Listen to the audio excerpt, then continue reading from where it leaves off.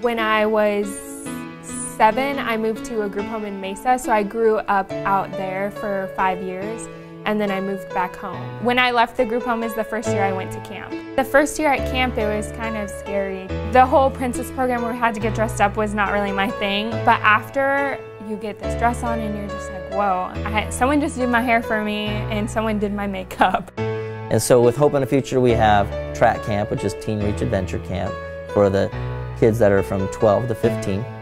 We also have a Life 360 program, which is for kids who are 15 to 21, or even some of our kids are older than 21 have come back and have helped volunteer or still participate in it.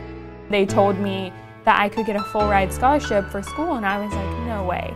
Hope and a Future, our belief is the starfish story, where you can only help one person at a time. Hope and a Future is there to help. Like, they're not there to just watch you fail. They're gonna do something. If you need help, then they'll help you.